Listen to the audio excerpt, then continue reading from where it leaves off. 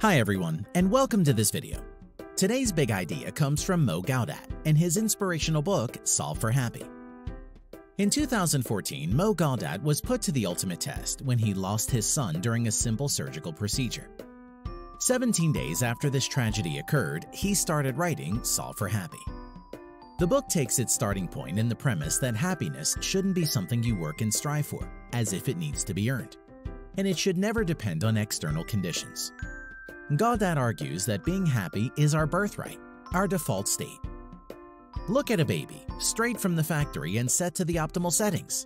If babies have their basic needs covered, then they live in the moment and in an imminent state of joy. This default state applies to adults too. You don't need a reason to be happy. All you need is no reason to be unhappy. Happiness is the absence of unhappiness. It is our resting state when nothing causes interference. Gawdat therefore reasons that we need to reset our factory settings and get back to our default state of happiness. To help with this process, he created a repeatable engineered model to reach a state of uninterrupted happiness, regardless of the circumstances of life. It goes like this. Happiness is equal to or greater than your perception of the events of your life, minus your expectations of how life should behave. His point is that happiness starts with a conscious choice. A slight change in the way we think can have a drastic impact on how we feel. A conscious choice of accepting life exactly as it is can make a big difference. It is the way we think about the events of our lives that can cause unhappiness if our expectations are not being met. Once these thoughts of unfulfilled expectations are refocused, the way we feel will change accordingly. And the good news is that our thoughts can be controlled the brain can only focus on one thought at a time. Try to think of a butterfly and a sports car at the same time. You cannot do that. What you are actually doing is switching between the two very quickly. So flood the brain with things that make you happy and push all negative thoughts away.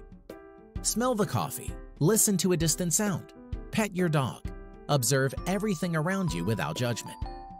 You have the ability to focus on anything you want just by bringing it into your conscious mind. Remove the unhappy thought. Replace it with a happy one.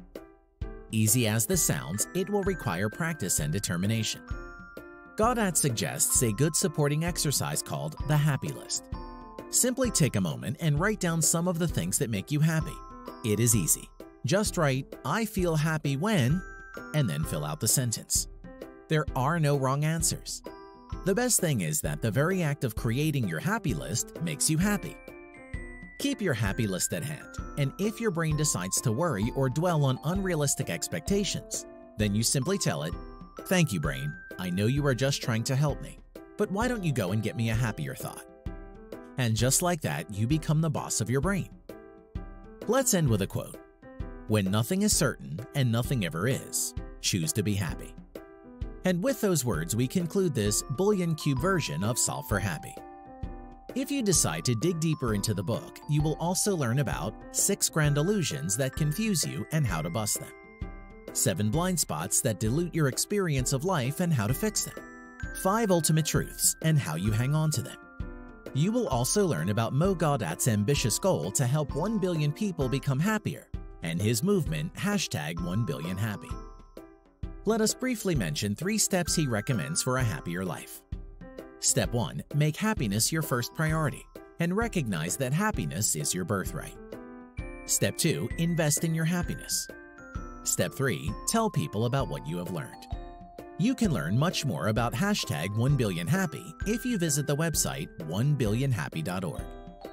And with that, we hope this video on Mo Gawdat's Solve for Happy have inspired you, helped you grow your mind, and motivated you to be the best you. If you enjoyed this video, please remember to give it a like and share it with your friends and family so they too can get big ideas and grow their minds. Take care, and we will see you soon.